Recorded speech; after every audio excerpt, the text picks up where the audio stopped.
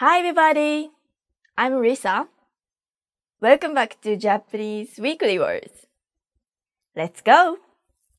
Today's theme is condition on no onomatopoeia.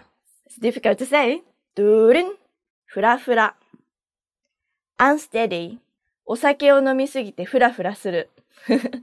Don't drink too much. The next one is じゃん。チクチク。Prickling pain。チクチク。痛い痛い痛いみたいな。チクチク。うん。バラのトゲはチクチクする。チクチク。はい。The next one. ズキズキ。